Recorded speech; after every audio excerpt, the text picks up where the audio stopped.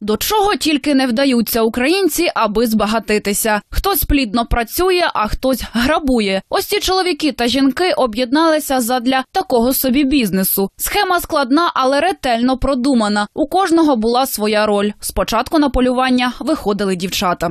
Ходили біля розважа- розважальних закладів е, міста Києва, де знайомилися з е, чоловіками.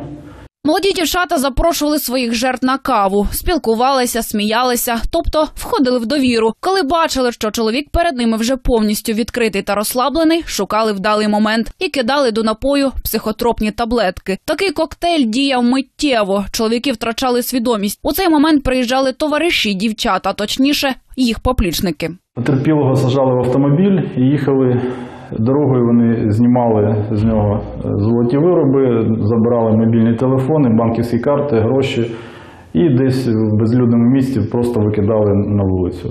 Така махінація приносила ділкам прибуток доволі довго, і звісно, в їхні сіті потрапило чимало жертв. Деяких з них медики ледве відкачали, адже таблетки, які підкидували у напої чоловікам, це сильної дії наркотики. При великій дозі людина як мінімум отруюється, і добре, якщо це не призведе до фатальних наслідків. Все ж групу так званих клофелінчиків затримали.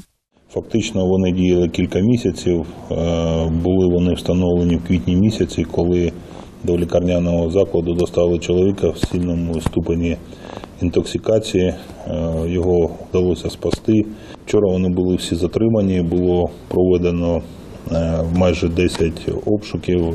Уже в стінах відділку поліції, як завжди, затриманих допитували. Однак вони виявилися міцними горішками. І чоловіки, і жінки не зізнавалися у скоєному, ба більше відверто брехали правоохоронцям. Мовляв, мають приватне підприємство і зовсім не розуміють, чому їх власне затримано. Правоохоронці кажуть, наразі ще встановлюються усі деталі цього злочину. А ті постраждалі, які не встигли звернутися до поліції, хай зроблять це найближчим часом. Їхні покази, звісно, допоможуть слідству.